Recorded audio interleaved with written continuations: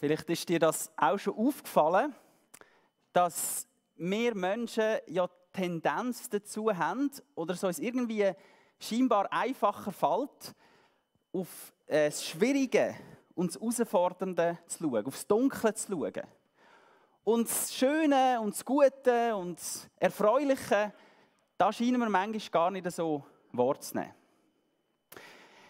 Vielleicht ist dir das auch schon aufgefallen und ich habe gelesen, dass Untersuchungen im Feld der Psychologie, die sagen, dass unser Hirn nur gerade mal drei Sekunden braucht, um einen negativen Eindruck zu speichern. Dafür braucht unser Hirn 14 Sekunden, also viermal so lang, um einen positiven Eindruck, um etwas Erfreuliches auch abzuspeichern als eine gute Erinnerung. Also, wenn du jetzt in diesen Tagen schöne Sachen erlebst, etwas, wo du dich darüber freust, einen schönen Anblick oder so, dann solltest du also 14 Sekunden innehalten, dass dein Hirn nachkommt, dass das auch richtig schön ist und dass das auch bleibt.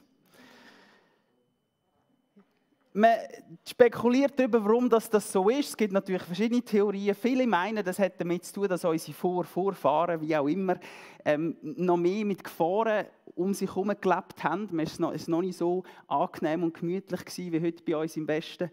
Ähm, und darum hat man immer müssen so die, um, die Umgebung ganz genau beobachten, wenn das die nächste Gefahr auftaucht. Darum sind unsere Hirne eher aufs Negative ausgerichtet und eben nicht aufs Erfreuliche und aufs Schöne.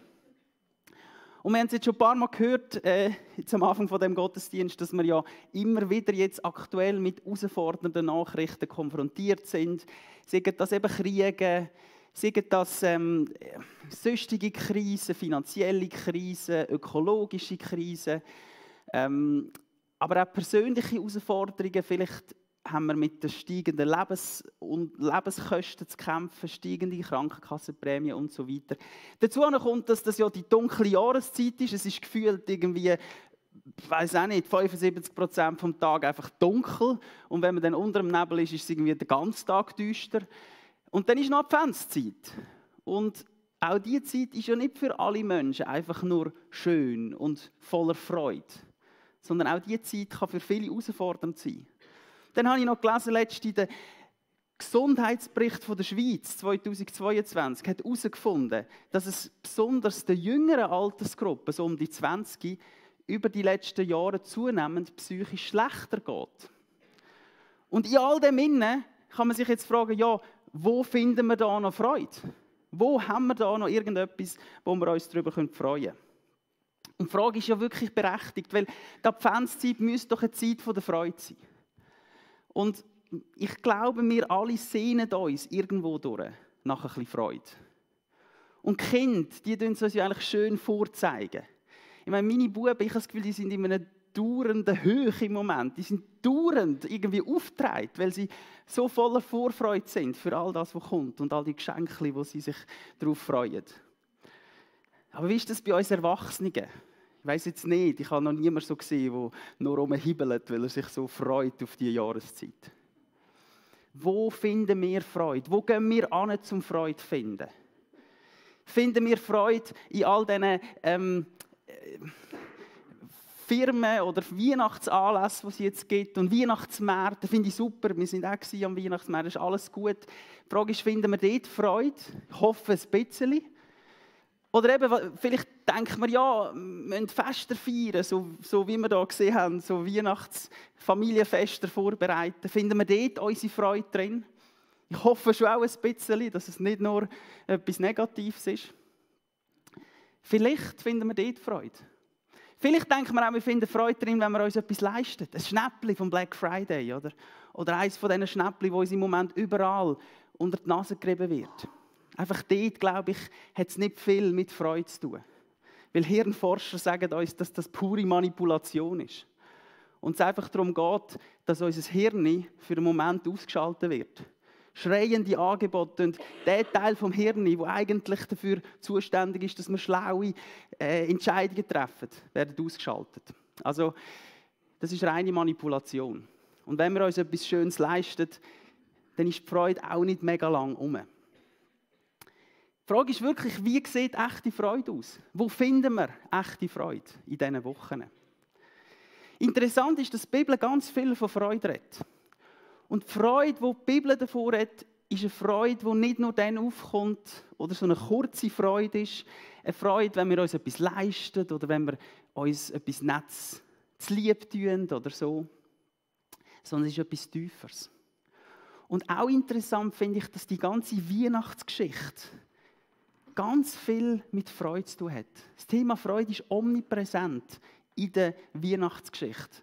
Und das ist eigentlich interessant, weil die Umstände nicht so vielleicht sind, wie man sich eine freudige Zeit vorstellen Und heute schauen wir uns ein bisschen an. Was ist denn das Wesen von dieser Freude, wo Weihnachten davor hat? Was ist die Essenz von dieser Freude? Und auch die grosse Frage, ja, wie finden wir zu dieser Freude? Was ist der Weg zu dieser Freude? Genau.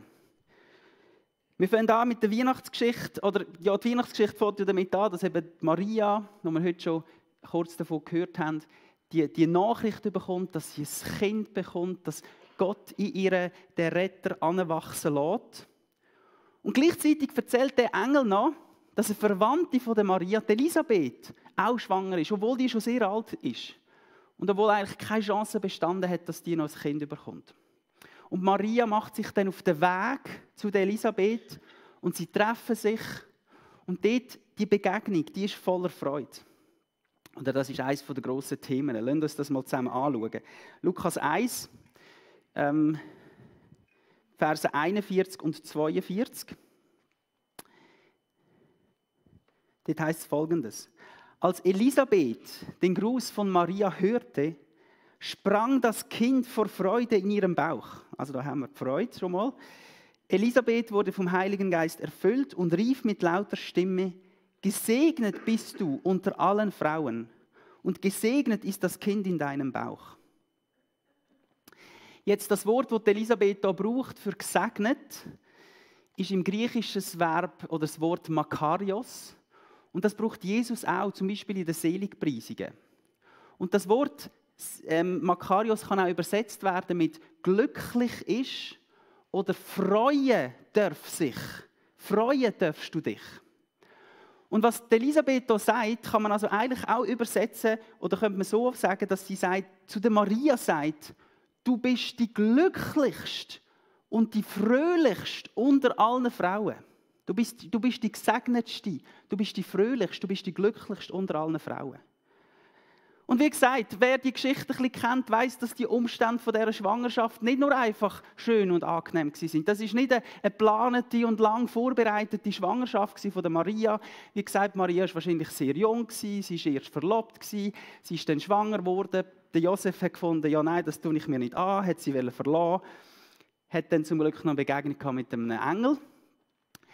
Und dazu ist ja noch gekommen, das Gerede, wo wahrscheinlich eben Maria damit konfrontiert war und das könnte übrigens auch ein Grund sein, warum sie zu der Elisabeth geht. Weil sie vielleicht einfach mal ein Zeitchen hat raus müssen aus dem Dorf Nazareth, aus dem Gerede vielleicht auch. Also das sind nicht Umstände, wo eben einfach schön und angenehm und besinnlich sind. Aber wie wir es schon gehört haben, Maria ist trotz allen Umständen voller Freude, weil sie dann eben sagt, oder ganz kurz nochmal der Vers 46 und 47, wo sie sagt, ich lobe den Herrn aus tiefstem Herzen. Alles in mir jubelt vor Freude über Gott, meinen Retter. Und da können wir schon mal etwas festhalten über das Wesen der Freude. Freude ist nicht nur die zu finden, wo alles um uns herum diesen Umständen entspricht, wo wir es gerne hätten. Wo alles um uns herum so richtig gemütlich und angenehm und besinnlich und ruhig ist. Nicht nur dann ist Freude zu finden. Und Freude ist auch nicht nur dann zu finden, wenn wir uns abkapseln von allem um uns herum und denken, ich will nichts zu tun haben mit all dem Schlimmen, was in dieser Welt passiert. Auch dann ist nicht Freude zu finden. Sondern Freude sollen wir finden und suchen, gerade mitten im Schweren. Freude ist mitten im Schweren zu suchen und zu finden. Das ist ein wichtiges Wesen der Freude. Und das Thema der Freude bleibt dann eben sehr präsent in dieser Weihnachtsgeschichte.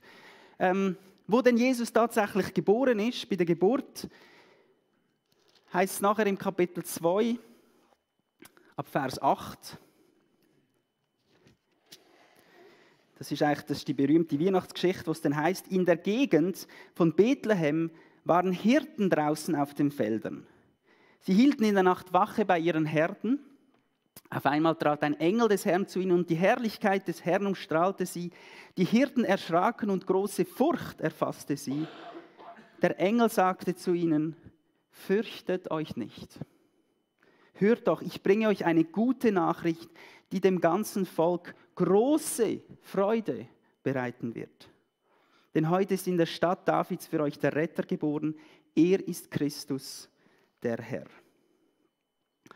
Und die, der Vers eigentlich, Vers 10 und 11 da vom Kapitel 2, ist eigentlich die zentrale Botschaft von Weihnachten. Das ist die zentrale Botschaft, die die Engel den Hirten weitergeben. Und die schauen wir uns kurz ein bisschen näher an. Wir finden da drei Sachen, sagen wir mal, von der, vom Wesen von der Freude. Das erste ist, es geht von der Angst hin zur Freude. Sie sagen am Anfang, fürchtet euch, hebt keine Angst. Und das ist eine Aufforderung, die in der, in der Weihnachtsgeschichte immer und immer wieder auftaucht. Der Josef, bei, bei der Maria, bei den, äh, bei den Hirten kommt immer wieder das, hebt keine Angst. Und es ist nicht nur eine nette Begrüßungsform, so, heute zusammen, hebt keine Angst, sondern es ist eine Aufforderung, hebt keine Angst, weil naheliegenderweise die alle wahnsinnig Angst hatten. Also es ist nicht nur ein netter Gruß sondern es ist ein Wegweiser. Und ich glaube, es ist auch ein Wegweiser für uns. Auf dem Weg von Jesus, auf dem Weg mit Jesus, ist der grosse, eines der grossen Ziele, dass wir uns immer mehr von der Angst, von der Sorge, von der Wut, die vielleicht unser Leben immer wieder erfüllt, hinbewegen zu tiefer, unerschütterlicher Freude. Das ist eines der grossen Ziele von unserem Leben. Von der Angst zu der Freude. Von der Angst zu einer tiefen, unerschütterlichen Freude. Und dann etwas Zweites bei dieser Aussage der Engel ist, dass es eine große Freude für alle ist. Jetzt Im Griechischen wird groß heißt ursprünglich dort im Text Megalän. Also unser Wort Mega kommt von dort. Und was eigentlich die Hirten hier sagen, es ist eine mega große Freude. Es ist nicht nur so, oh, wir freuen uns, sondern es ist eine mega große Freude. Und ich habe überlegt, ja, mit was könnten wir das vergleichen, die Art von Freude? Stell dir mal vor, es kommt jetzt jemand da gerade in den Raum rein und würde dir eine Nachricht überbringen von dem, was du dir schon lange vorgestellt, erhoffst, dafür gebetet hast. Stell dir vor, es kommt jemand rein und sagt, der Krieg im Gaza ist vorbei und alle haben sich wieder gern und alle umarmen sich. Das wäre doch ein, Grund für Freude. Oder der, der, der Krieg in der Ukraine ist vorbei und es ist wieder Frieden. Oder es kommt jemand rein und sagt, hey, die Prüfung, die du geschrieben hast letzte Woche, du hast sie bestanden, deine Abschlussprüfung, du hast sie geschafft. Oder der Job, wo du dich dafür beworben hast, du hast ihn bekommen. Dann kommt doch Freude in uns auf mega große Freude. Und um so eine Art von Freude geht es da. Das Schockierende jetzt hier noch bei der Aussage der Engel ist, dass es eine Freude ist für alle. Es ist nicht nur eine Freude für die Reichen oder für die mehr Besseren damals in Israel. Es ist nicht nur eine Freude für die, die sich leisten können oder eine Freude für die, die gerade Zeit haben dafür oder so, sondern es ist eine Freude für alle. Besonders für die Ausgeschlossenen, besonders für die Armen, für die Randständigen, für die, die eigentlich nicht viel Grund zur Freude haben. Ist es eine mega Freude. Und was wir uns auch noch vorstellen können, ist, die Hirten damals, das sind wahrscheinlich Kinder gewesen in diesen Ländern im Nahen Osten, bis heute auch in Afrika, sind es meistens Kinder, die Hirten sind. Und es kann gut sein, dass das Kinder sind, wo dort Engel zu ihnen gekommen sind. Und wir wissen von Kindern, wenn sie etwas Freude haben an etwas, dann übersprudelt das. Und darum heißt es dann später in dem Text, sind die Hirten überall umgegangen und haben von dieser Freude erzählt, weil sie die übersprudelnde Freude nicht haben können für sich behalten weil es so eine mega Freude war. Und dann, wenn wir noch kurz anschauen, was denn die erfreuliche Nachricht war. Der Engel redet eben da von einer guten Nachricht. Ähm, oder er braucht eigentlich den Begriff Evangelium. Und der Begriff, das ist nicht, das ist nicht ein, ein, christlicher Begriff Evangelium, sondern der ist eigentlich gebraucht worden damals in der Zeit bei den Römern, zum Ankündigen, wenn ein Krieg zum Beispiel gewonnen wurde, ist das Evangelium gewesen. Wenn es wieder Frieden gegeben hat, ist das Evangelium gewesen. Wenn ein neuer König ab Macht kam, ist ein neuer Kaiser, ist das Evangelium gewesen. Gute Nachricht für alle Leute, dass es einen neuen König gibt. Und da ist es eben Evangelium, dass ein neuer König geboren ist. Aber einer ganz anders, wie man sich es vorstellt. Interessant ist auch, was, nicht, was die Engel nicht als gute Nachricht bezeichnet. Sie sagen nicht, hey, gute Nachricht ist, dass du nach dem Tod wirst in den Himmel kommen, lieber Hirt. Sie sagen auch nicht, gute Nachricht ist, dass du aus Glauben allein gerettet bist. Das ist vielleicht da, wo wir heute als Evangelium bezeichnen würden. Sie sagen auch nicht, gute Nachricht ist, dass du reich wirst sein und nie wirst, ach, äh, nie wirst krank sein oder so. Sondern die gute Nachricht ist, dass jemand geboren ist. Dass ein Retter geboren ist. Dass der Retter geboren ist. Und sie sagen dann da, es ist Christus. Und Christus ist nicht der Nachname von Jesus so, Jesus Christus, sondern es ist der Titel Christus heißt Messias. Messias heißt der König, der Gesalbte. Der neue König dieser Welt ist geboren. Und nachher sagen sie, Christus, der Herr. Und auch da wieder, es ist nicht wie der Herr Benjamin Leuenberger, sondern der Herr ist im Griechischen Kyrios. Und Kyrios ist im Alten Testament der Ausdruck, den man braucht hat für Gott. Also sie sagen, der König ist geboren, Gott selber. Sie sagen, Gott selber ist in die Welt hineingekommen. In die Dunkelheit, ins Durcheinander, ins ganze, in die ganze Bosheit dieser Welt hinein, ist Gott selber hineingekommen. Er greift ins Geschehen dieser Welt ein. Die gute Nachricht von Weihnachten ist, dass Gott die Welt nicht ihrem Schicksal überlässt und sagt, hey, schaut ihr mal, was ihr da macht, sondern Gott taucht selber ein in die Dunkelheit und in die Abgründe dieser Welt. Jesus bringt ein neues Königreich. Ein Königreich von der Hoffnung, von der Freude, vom Frieden. Also man kann sagen, die mega Freude von Weihnachten ist, dass Gott aktiv wird dass er sich einlädt auf die Welt, dass er Mensch wird, dass Gott selber Mensch wird und eingreift in der Person von Jesus Christus. Das ist die große Freude, das ist das Wesen der Freude, dass Gott eingreift, dass er die Welt nicht sich selber überlässt. Jetzt magst du vielleicht denken, ja schön, schön, dass das Nachricht ist und so, aber ich jetzt persönlich erlebe diese große Freude so in meinem Leben irgendwie nicht so. Haut mich jetzt nicht gerade vom Sockel, die Nachricht von Weihnachten. Also ich sehe, ich hocke alle noch. Wir sind jetzt alle, auch nicht alle so, bing, so total begeistert und kumpen umeinander. Klar, wir sind Schweizer und wir sind alle erwachsen und so. Aber vielleicht könnte es auch daran liegen, dass wir denken, dass Freude einfach ein Gefühl ist. Dass Freude einfach ein Gefühl ist, wo kommt und geht und wir null Einfluss haben. Ja, heute habe ich halt ein bisschen Freude. Ja, heute Nachmittag halt nicht mehr. Morgen kommt es vielleicht wieder und am Dienstag wieder nicht mehr. Aber ich meinte, dass Freude mehr ist als ein Gefühl. Freude ist schon ein Gefühl, aber Freude ist auch noch mehr als ein Gefühl. Vergleichbar mit Hoffnung, vergleichbar mit Liebe, Liebe und Hoffnung sind nicht nur Gefühle, sondern wir können uns entscheiden für Hoffnung, wir können uns entscheiden für Liebe, wir können Sachen tun, die Liebe zum Ausdruck bringen, wir können Sachen tun, die unsere Hoffnung zum Ausdruck bringt. Freude ist auch ein bisschen wie Frieden. Das hängt draussen. Frieden ist etwas, wo wir uns dafür einsetzen können. Und auch ein Gefühl, das wir haben können.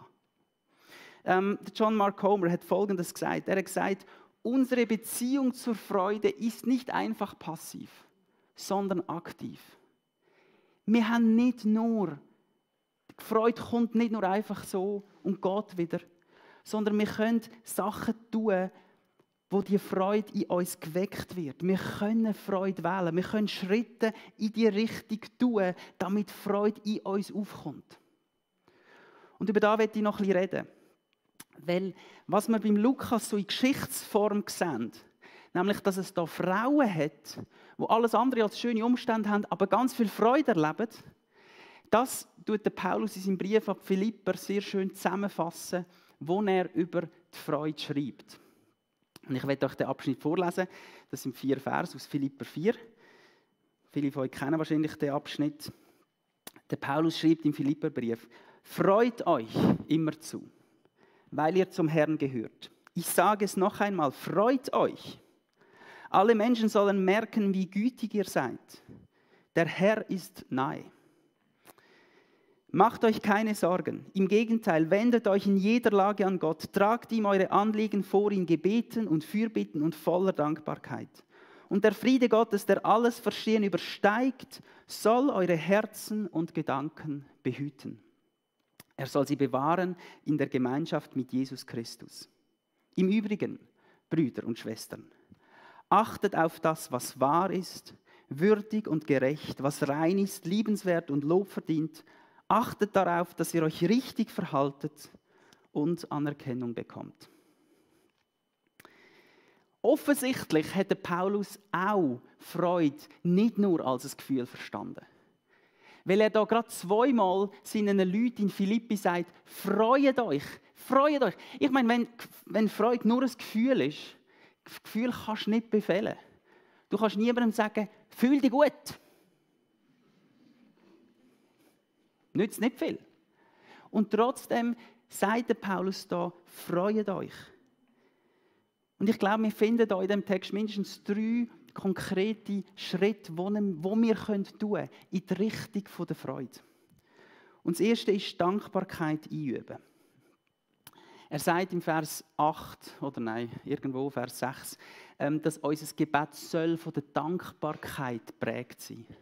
Alles, was wir bitten, sollen wir in Dankbarkeit tun.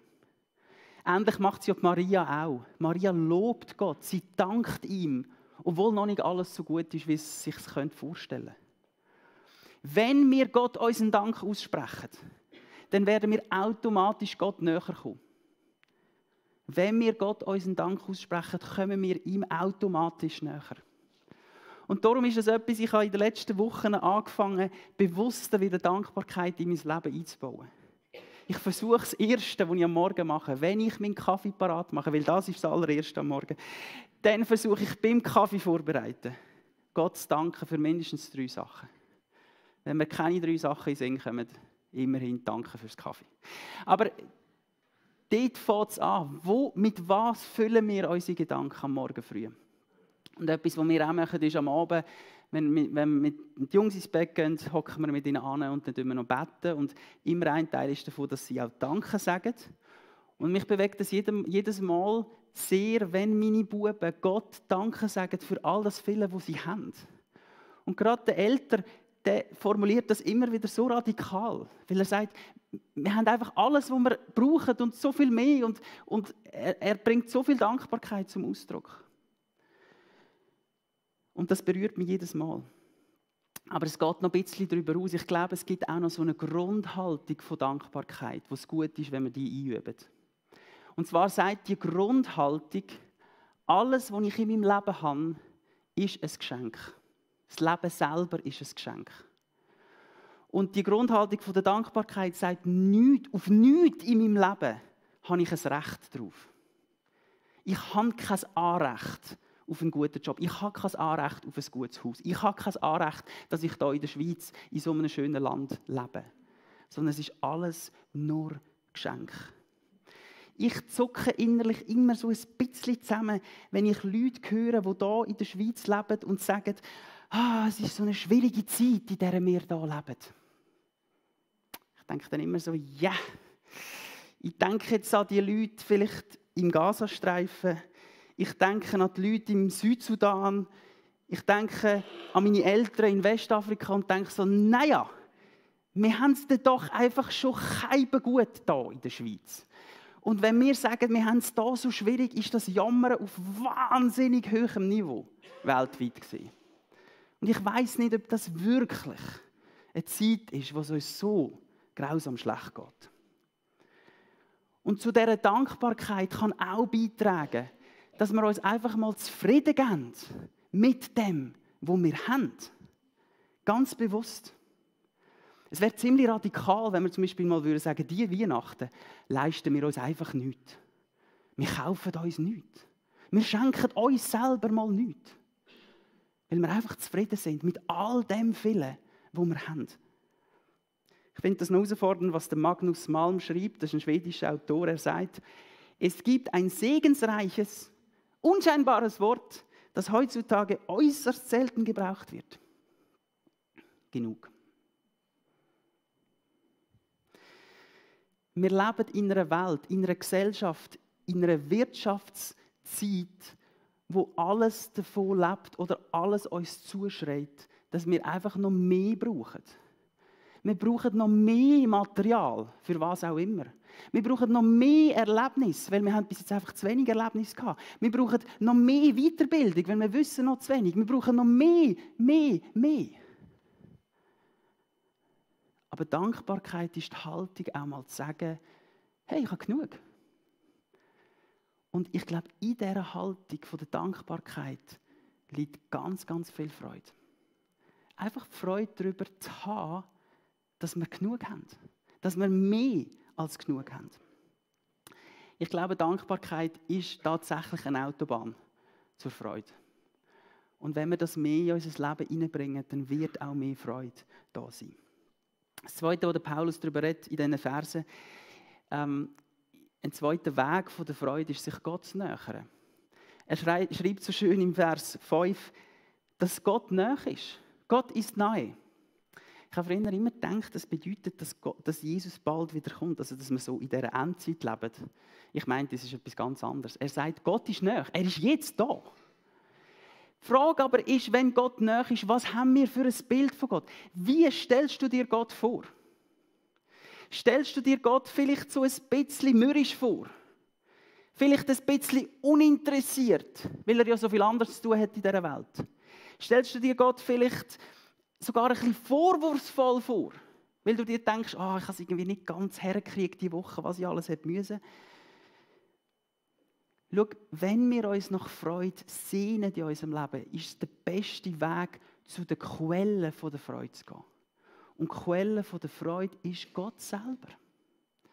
Im Psalm 16, Vers 11, dort heißt es, das ist übrigens unser Trauvers, du zeigst mir den Weg zum Leben. Dort, wo du bist, gibt es Freude in Fülle. Ungetrübtes Glück hält deine Hand ewig bereit. Quelle der Freude ist Gott. Es mag dich vielleicht überraschen, aber Gott ist das fröhlichste Wesen im ganzen Universum. Es gibt niemand Fröhlicheres als Gott selber. Und das bedeutet nicht, dass das Leiden auf dieser Welt ihm egal ist oder dass er nicht trauert über all dem Schlimmen, was in dieser Welt passiert. Weil Freude und Leiden sich nicht gegenseitig ausschliessen. Aber Gott in sich, Vater, Sohn und Heiliger Geist, das ist eine Quelle der Freude. Das ist pure, das ist unerschütterliche Freude. Der Vater der hat riesen Freude am Sohn und der Sohn hat riesen Freude am Vater und, der, und Jesus hat Freude am Heiligen Geist und sowieso das innerste Leben von Gott ist prägt, ist pure Liebe, pure Freude, pure Frieden. Und überleg dir mal Folgendes. Wenn du in diesen Tagen mal so richtig kalt hast, ist mir in den letzten Tagen irgendwie sehr oft passiert, ich weiß auch nicht warum, was machen wir denn? Wir gehen doch in die Nähe von der Wärme. Wenn wir ein Feuerchen daheim haben, gehen wir in die Nähe von der Wärme. Oder wenigstens kuscheln wir uns irgendwie in eine warme Decke hinein. Und genau so ist es mit Gott. Wenn Gott die Quelle von aller Freude ist, dann müssen wir in seine Nähe kommen, zu seiner Wärme her dann müssen wir uns täglich in die, in die Freude von Gott kuscheln, wie so eine Kuscheldecke rein. Und darum ist es so wichtig, dass wir täglich die Nähe von Gott suchen. Weil wir jeden Tag wieder neu die Freude von ihm brauchen. Und das ist ein Grund, warum dass mir die Zeit am Morgen mit meinem Kaffee und vor allem mit Gott so wichtig ist. Weil das ein Ort ist, wo meine Freude wieder auftankt wird und ich merke, ich brauche das. Sonst tendiere ich immer wieder sehr schnell so zu melancholisch hoffnungslosen Gedanken. Und das Letzte beim Paulus da, er redet noch von einer Neuausrichtung von Gedanken. Auch dort ist Freude zu finden. Er schreibt im Vers 8, das ist so, das, das ist so ganz ein zentraler Vers, finde ich. Er sagt, im Übrigen, Brüder und Schwestern, achtet auf das, was wahr ist, würdig und gerecht, was rein ist, liebenswert und Lob verdient. Achtet darauf, dass ihr euch richtig verhaltet und Anerkennung bekommt. Was wir heutzutage in den Medien, in den Nachrichten, in vielen Filmen, in vieler Unterhaltung mitbekommen, ist das Gegenteil von dem, was Paulus da schreibt. Es gibt da ganz viel Unehrliches, ganz viel Unwahres, ganz viel Anstößiges, wo wir über alle Medien und Nachrichten und Filme und Sachen in uns aufnehmen. Und der Paulus sagt da eigentlich, schau, die Freude ist so wie eine Brille, wo du deine Welt kannst durch, durch anschauen kannst. Wir können auch Brille vom Zynismus anlegen oder ähm, Brille vom Pessimismus. Oh, es wird alles immer schlimmer, oh, es ist einfach immer so schwer. Oder er sagt, wir können, wir können Brille von der Freude anlegen und uns immer mehr auf das konzentrieren, wo in dieser Welt gut und wahr und rein und schön ist. Und interessant ist, dass wenn wir uns mehr und mehr auf diese Sachen konzentrieren, werden wir immer mehr auch von diesen Sachen sehen. Und Freude wird zu einem Grundton, zu einer Grund, auch zu einem Grundgefühl von unserem Leben werden. Und vielleicht ist in dieser Adventszeit nicht nur die Frage, wie gestaltest du die Adventszeit mit Festen und, und nochmal ein Familienfest und nochmal dort hingehen und so weiter, sondern gibt es vielleicht auch Sachen, wo du darauf verzichten müsstest. Vielleicht Medien, vielleicht Filme, vielleicht etwas, wo du merkst, da nehme ich zu viel von dem Negativen, zu viel von dem Unwahren, zu viel von dem Unreinen in mein Leben auf. Und das nimmt mir die Freude weg. Und darum müsste ich vielleicht etwas an dem ändern. Ja, ich werde langsam zum Schluss kommen. Die Band darf sich schon mal auf den Weg da wieder auf die Bühne machen. Ich habe mit dieser Frage gestartet, wo ist Freude zu finden? Und ich will es nochmal betonen, ich glaube, Freude ist mehr als ein Gefühl. Und wenn du dich nach Freude sehnst, dann wend dich an Gott. Er ist die Quelle der Freude. Bei ihm ist Freude zu finden. Und in einer Welt, wo scheinbar das Negative überhand nimmt, wo die negativen Nachrichten immer lauter sind, ist Freude nicht nur einfach so ein schöner Zusatz, wo egal, ob wir ihn haben oder nicht, sondern Freude ist etwas grundlegend Wichtiges. Und darum gefällt mir der Satz von Bono, von U2. Er hat einmal gesagt, Joy is an act of defiance. Auf Deutsch, Freude ist eine Trotzreaktion. Freude ist nicht nur einfach etwas, wo wir manchmal haben oder nicht haben sondern etwas, wo wir unser Leben sollen darauf hin ausrichten Und darum lade ich euch ein, in diesen Wochen auf Weihnachten hin, dass wir uns trotzig auf die Freude ausrichten. Dass wir da nicht einfach einen Zufall überlassen, sondern dass wir anfangen, unsere Gedanken statt nur aufs Schwere und das Herausfordernde und das Negative auszurichten auf Gott. Und dass wir anfangen, in diesen Tagen ganz bewusst die Nähe zu Gott zu suchen. Weil er die Quelle ist von aller Freude. Und in dem Innen immer mehr aufzählen und ihm sagen, für was wir dankbar sind. Das Leben als ein Geschenk anschauen. Alles, was wir hier haben, als ein Geschenk anschauen. Und dann glaube ich, dann kann wirklich echte, unerschütterliche Freude immer mehr in unser Leben hineinkommen. Der Paulus hat das so schön gesagt im 2. Korinther 6. Er hat gesagt, wir erleben Dinge, die uns traurig machen. Jawohl, es ist so in dieser Welt. Und sind doch immer voller Freude. Die beiden Sachen sind nicht, schliessen sich nicht aus. sondern wir dürfen Freude finden, mit in der Herausforderung. Ich werde jetzt einfach noch beten. Und ich lade euch ein, dazu aufzustehen für das Gebet. Um vielleicht einfach Gott zum Ausdruck zu bringen, wir sind jetzt da. Und wir werden unsere Dankbarkeit zum Ausdruck bringen. Und wir werden uns füllen lassen von seiner Freude. Und Heiliger Geist, ich lade dich jetzt einfach ein. Du bist der Geist der Freude. Und ich bitte jetzt gerade für all die, die wenig Freude spüren in ihrem Leben, die vielleicht ein schwieriges Jahr, eine schwierige Woche, herausfordernde Begegnungen hinter sich haben, die selber vielleicht mit gesundheitlichen Schwierigkeiten zu kämpfen haben, die in der Familie vielleicht grosse Herausforderungen haben. Jesus, du sagst nie, dass wir uns von der Realität dieser Welt abwenden sollen sondern dein Geschenk ist, dass du uns in den Herausforderungen und im Schmerz inne eine Freude schenkst, die weit über das ausgeht, was wir uns vorstellen können. Und so bitte ich dich um eine tiefe, unerschütterliche Freude in unserem Leben. Und Jesus, wir haben so viel, wo wir dankbar sein dafür. Dass wir leben dürfen, dass wir da sein dürfen, dass wir so ein mega schönes Gebäude dürfen haben, dass wir so eine tolle Kille haben, dass wir in so einem Land leben wo so viel Sicherheit und so viel Wohlstand da ist. Und wir wollen dir einfach von Herzen Danke sagen. Und wir wollen es nicht für selbstverständlich nehmen. Und wir danken dir, dass du mit uns auf einem Weg bist. Ein Weg von immer mehr Freude und immer weniger Angst. Amen.